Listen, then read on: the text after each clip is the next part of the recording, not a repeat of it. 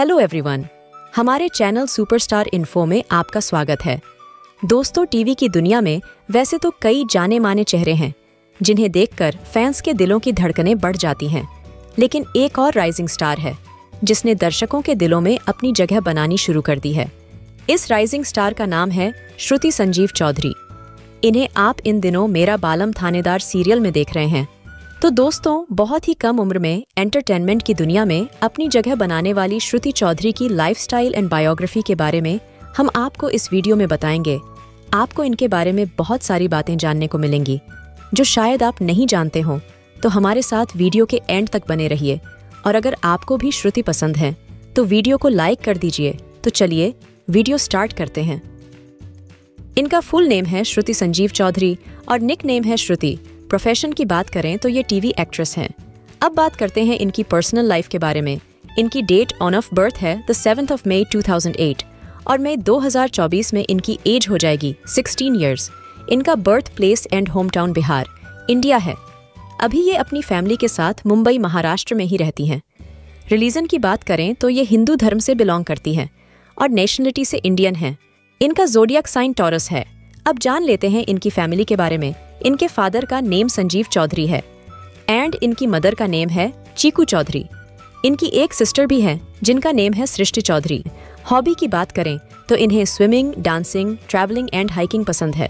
अगर बात करें फ़िज़िकल अपियरेंस की तो इनकी हाइट है अप्रॉक्स 170 सेंटीमीटर यानी कि 5 फीट 7 इंचेस एंड वेट है अप्रॉक्स 50 केजी तो चलिए, अब बात करते हैं इनके एजुकेशनल क्वालिफिकेशन के बारे में। तो श्रुति अभी अपनी स्कूलिंग स्टडीज़ ही कर रही है। तो अब जान लेते हैं, इनके कैरियर और जर्नी के बारे में।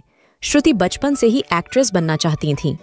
इन्होंने अपने सोशल मीडिया में as a model commercial products and foods को प्रमोट किया है।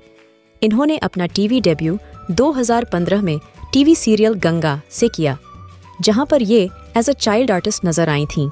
इसके बाद इन्होंने 2022 में जी टीवी के टीवी सीरियल मैं हूँ अपराजिता में काम किया। जहाँ पर इन्होंने श्वेता तिवारी और मानव गोहिल के साथ आशा सिंह, यानी कि आशु का किरदार निभाया। इसी सीरियल से उन्हें दर्शकों का काफ़ी ज़्यादा प्यार मिला और इनकी पॉपुलैरिटी भी बढ़ गई। और इसी शो के लिए उन्हें Zee Rishtey award for best debut actress award मिला। इसके बाद ये रुकी नहीं और इसी साल इन्होंने कलर्स टीवी के शो फना, इश्क में मरजावा में काम किया और शनाया श्रीवास्तव का रोल प्ले किया। 2023 में इन्होंने जियो सिनेमा में streamed web series Ishq next door में काम किया, जहाँ पर इन्होंने यंग मेहर का रोल प्ले किया।